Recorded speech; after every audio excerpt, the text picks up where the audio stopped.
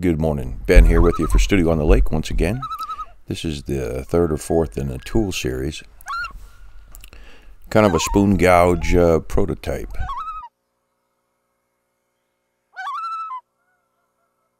Uh, you can see I changed the design a little bit. Made it circular, all out of one piece. Cuts on the front and the back. Start off with some uh, oil hardening O1 tool steel. Kind of roughing it out. Mm, about a two and a half inch tang on this when it's all said and done.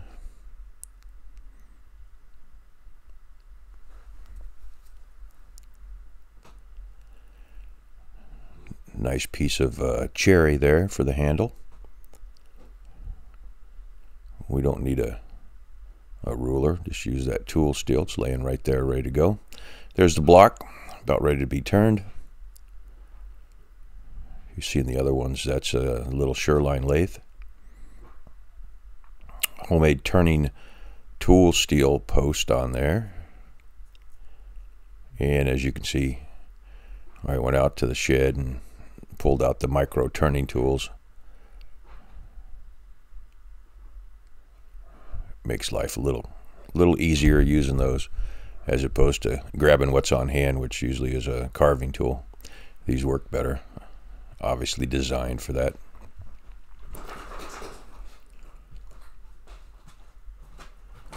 No particular design on the handle here. Put a little button on the end.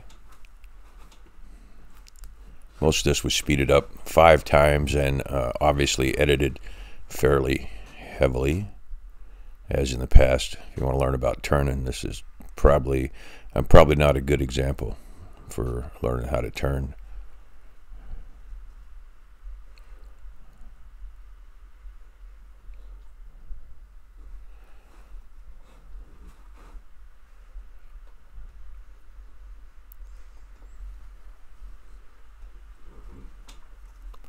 Basic shape, happy with it check, make sure we got a width going there that's going to work.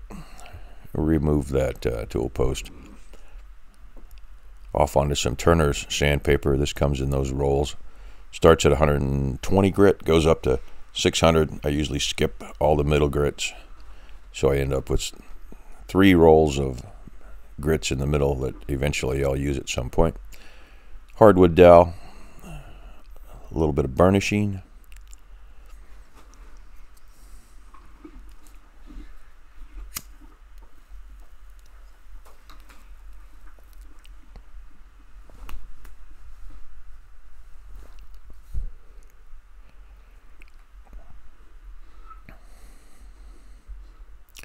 This burnishing makes the handle really smooth in your hand. Last, a little bit of steel wool.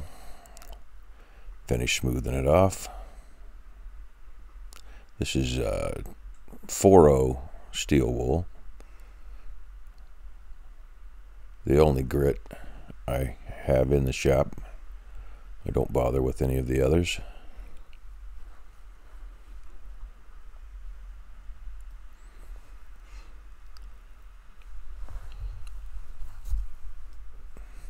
Can't see it, but there's that steel wool gets pretty hot in your hand, almost burning, uh, burnishing into that. And final touch with the hardwood dowel. Easy to finish on the lathe. No boogers. I'll go ahead and finish it up. This is uh, Danish Watco oil. Mm, probably two coats, about five minutes worth. Uh, let it dry on the lathe. And it's dry to the touch and ready to go in about, about five minutes. Can't complain about that. There you go. One handle. Cut it off, finish up the end there. Time to pay attention to the tool steel section of it. The stuff is in uh, annealed state and I wouldn't say easy to work, uh, machinability wise, but it's uh, it does machine. drilled the hole first, set the uh, inner diameter.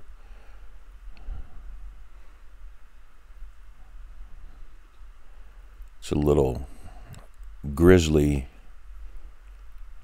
or Chicago, heck, I don't remember.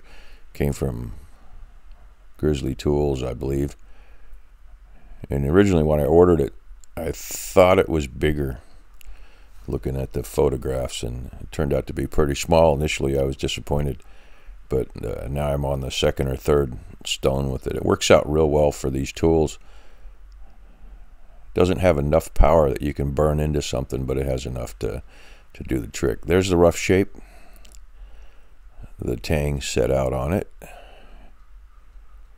And it's designed to cut both ways. One side has a fine on the back, and the front kind of a little bit of a bevel.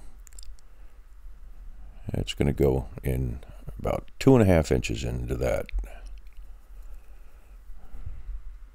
Grab some Swiss needle files, get the shape. This still is not hardened, so you can go ahead and file down through this. After you harden it, uh, these files won't work anymore. You have to go to grits and sanding and uh, grinding and that sort of thing.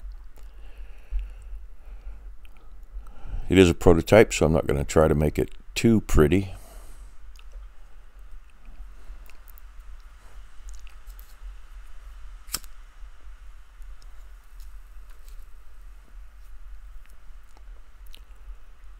Time on the filing on this probably 15 or 20 minutes in real time. And that's zoomed five ahead. Uh, needs a ferrule on the end. Cut off a piece of brass tubing. It's press fit on there.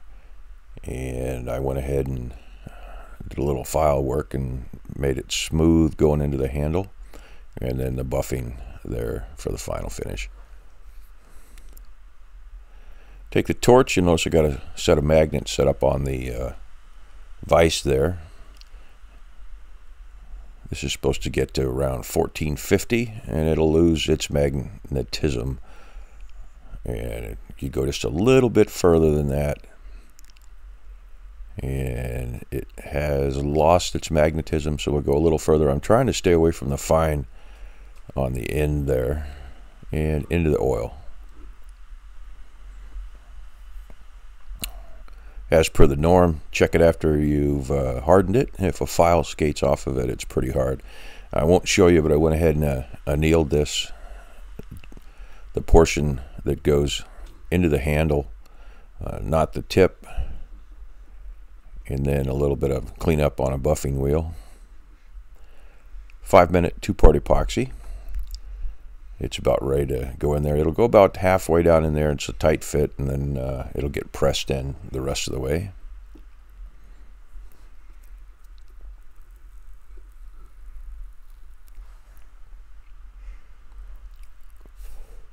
It's about as far as you can push it by hand.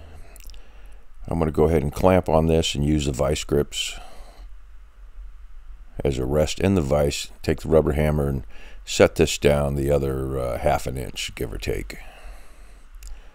There it is, designed to take small bites. I am going to make another one of these that has a curved blade on it and show you the difference between the two of them.